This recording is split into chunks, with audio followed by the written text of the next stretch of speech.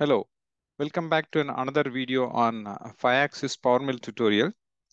And uh, in this video, we are going to cover uh, one of the uh, best feature available in the PowerMill.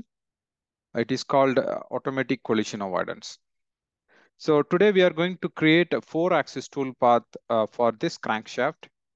And what we are going to do is we are enabling this automatic collision avoidance and this will make you, when there is an collision uh, with the holder and the model, and it will automatically tilt uh, without any information given by you uh, for the tool axis definition.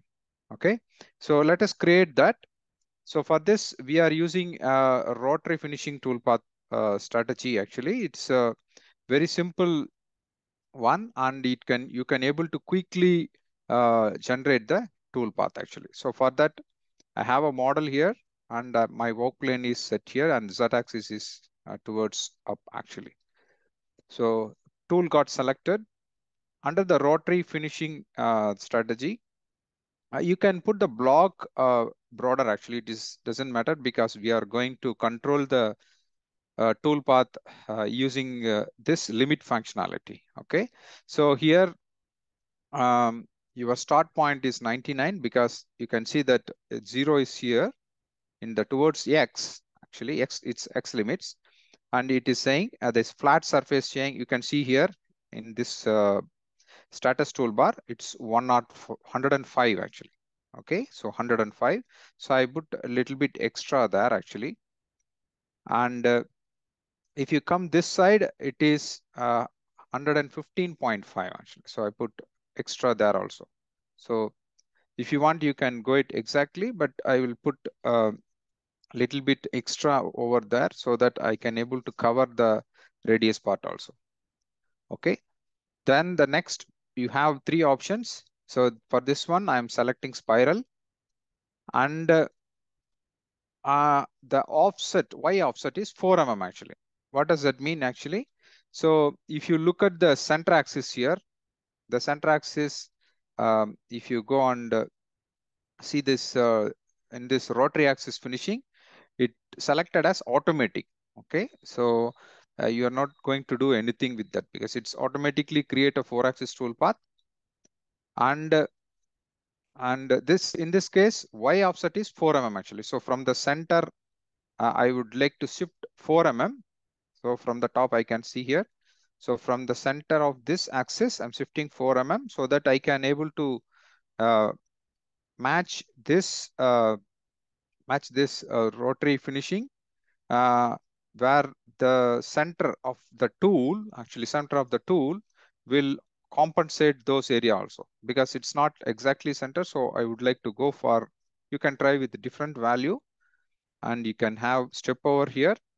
As I said here, um, you first I will create with automatic collision avoidance uh, enabled off um, and automatic here actually. So if you go on calculate here, you can get the tool path very quickly. And uh, in this case, uh, if you go on simulate from there, actually, okay, so little bit I put there actually, so it will find Okay, it looks like fine. So I stop here. Then I will slowly move from this one. Okay, so you can see there is a collision is happening here actually, right? So a big collision is happening here. So how to avoid this actually? So we do not have option for rotary because we switch the tool axis is uh, automatic, but still you can uh, able to tilt the work plane by using automatic collision avoidance. This functionality will work you fine and uh, this will uh, enables uh, collision free toolpath if there is any collision between holder and the model actually. So for that, I'm enabling this functionality here. Okay, and you um, and also under the tool axis limits, okay, if you go under here, you can see this is the one it is going and under collision avoidance, I'm saying I need a clearance actually. So for the holder 4 mm and the shank is 1 mm actually.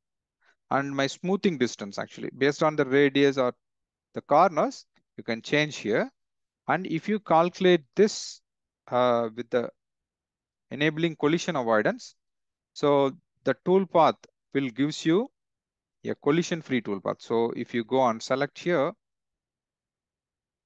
so it automatically tilts actually.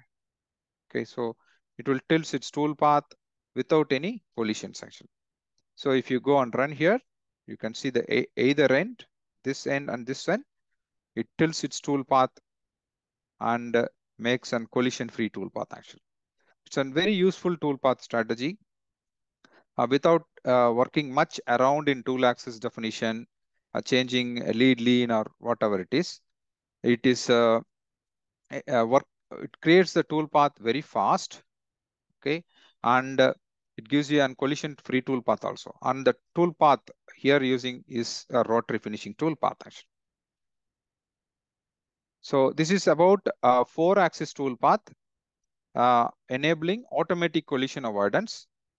So this will enables a collision free tool path where it automatically tilts its tool axis. Thank you.